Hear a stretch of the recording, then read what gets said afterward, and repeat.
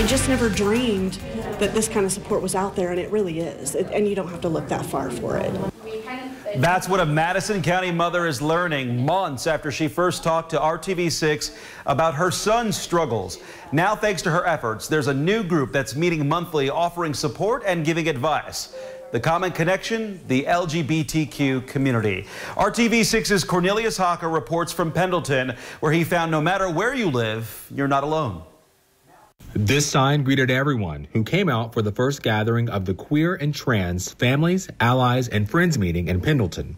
Inside, acceptance and a safe space. We're just kind of coming together as a community to talk about what it's like to have friends and family in the LGBTQ community and answer questions and just talk with each other and learn as much as we can about how to support them and be there for them. Since the beginning of this year, Molly Downey has been determined to make sure she knows the best ways to support her son Gage, who is gay. I need support to know how to support him. And there's nowhere to go to get that in a small town such as Pendleton. But that's now changed. All these moms spoke about their experience with either having a child that's gay or transgender, sharing personal stories that were very similar to each other's. Hearing these people speak had a positive impact on Brantley Bellick. We're all in the same boat, you know, and we can all get it through together and just find solutions and know that I'm accepted still, and not just by my friends, but, you know, people that I may not know. Studies have shown supporting LGBTQ youth like Brantley and his boyfriend Gage set them up for a much better life. You know, it's okay to reach out.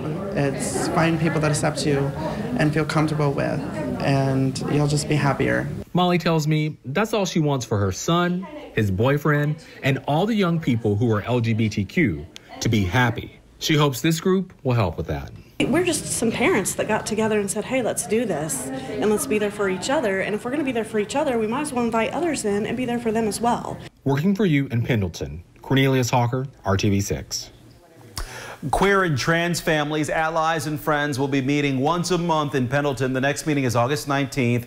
Info on where it is and how to contact them, we've put that on your screen. We'll also post it for you in this story on the RTV6 app.